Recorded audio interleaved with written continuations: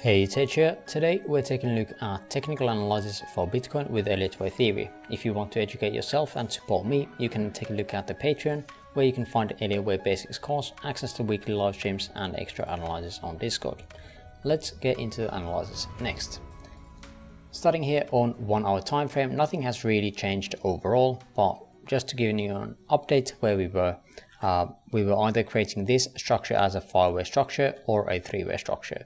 Now that we had this extends so much, uh, I think the expectation is that we have to allow this to be a five-way structure, although we had some issues definitely uh, with the labelings of this structure.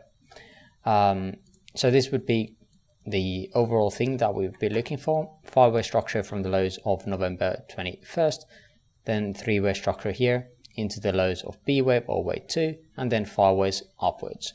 At the moment we have extended right around the 1.618 extension for that wave C or wave 3 but again we have not confirmed that this whole thing is over yet. Uh, inside that structure we would have this as a 1-2 where we have extended almost to the 5.618 extension which is very very extended and now we'd be looking to create these threes and fours overall if we are within that impulse wave structure or not. Um, however, on both of the scenarios, I'm looking for this to be creating a wave 4 and then that wave 5.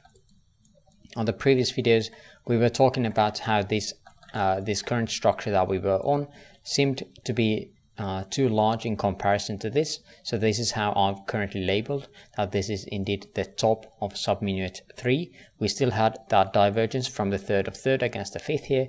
That gives us the uh, um, scenario where the momentum is dying down and indeed it is dying down and we can see it here. Um, price is not really moving that much anymore in comparison to the previous structures.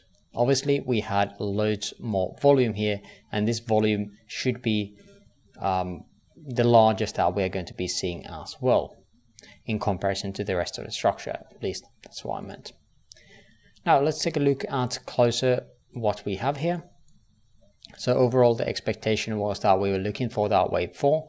Uh, 23.6 is probably a good target for this. This would be taking out the lows of wave A here and again, it would be one of the primary targets for wave 4 anyways. Uh, because this wave 3 is so extended, I'm not really seeing us uh, that likely to go to the most common retracement, which is the 38.2. Uh, the 0.5 is almost out of the question here, but again, not quite. Why? Is because again, the substructure is inside that wave 4. Here we have some kind of expanded structure. We have taken out the highs of this origin uh, with the wave B or potential wave X um, so it is going to be some kind of extended or expanded structure. This can go all the way to the 2.618, which we would have all the way to 18.4k. However, that would be very, very unlikely. If even if it goes well uh, beyond the 1.618, we need to be starting to doubt this count. Uh, but we definitely need to be looking into the substructures that we might be getting here. Let's zoom in a bit closer to see what we have here. Overall, I've labeled this as a three-way structure into A, then W, X, Y into B. Um, I think this looks decent. We have somewhat of a comparable structures overall. It's not the best, but this is the best I can get. Other scenario would be creating some kind of structure in here. However, I do like this being a five-way structure. We would have that divergence in here. So this, in my opinion, fits pretty decently. Um, and then again a three-way structure of some sort here into that way Y. Uh, after creating this wave B, we'd be looking for a five-way structure for that wave C, and the ex expectation would be the one-to-one -one to the 1.618. Well, basically the 1.382 is basically the target, but it definitely can expand here and further out, about 20,355 to 19.884. So that's the main target area. Um, however, how we're going to be labeling this structure in here is not really that easy. There is again a chance that this structure into these lows that we had uh, is a wave 1 and then this whole mess is going to be some kind of wave 2. Uh, there is also a chance that this is going to be forming some kind of triangle although RSI is not completely agreeing with that because again this is the low here on RSI and generally we want to be having it completely completely um, completely going with the price but that is not always what happens. So even if we are going to be creating another leg like this creating a three-way structure we we can still form that into a C wave how is well we're going to be creating that into a diagonal. Uh, that is the only way. So we would be creating a series of threes coming down into here creating some kind of diagonal downwards. And that is the only way this can go into a C wave or motive wave. The other other way around, instead of creating that third wave, we would have this as some kind of 1 2 1 2 setup, and then we ne would need to be starting to move down more more fast, uh, because again the third of third generally is is the most or is the, is the wave structure that has the most mo momentum behind it generally, uh, unless the fifth of course extends but that is not the assumption. Um, so that would be my bias.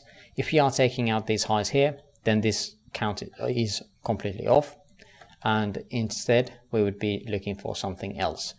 Um, at the moment, this can extend all the way to the 22,373 until this whole thing of this being an A and looking for B idea is invalidated. Uh, if you go beyond here, then that is not the case. And instead, we would most likely have this as some kind of a diagonal here, where uh, this probably would be a 1, 2, 3, 4, and 5. Is not the best looking structure uh, overall, but I think that is still something that we would be considering.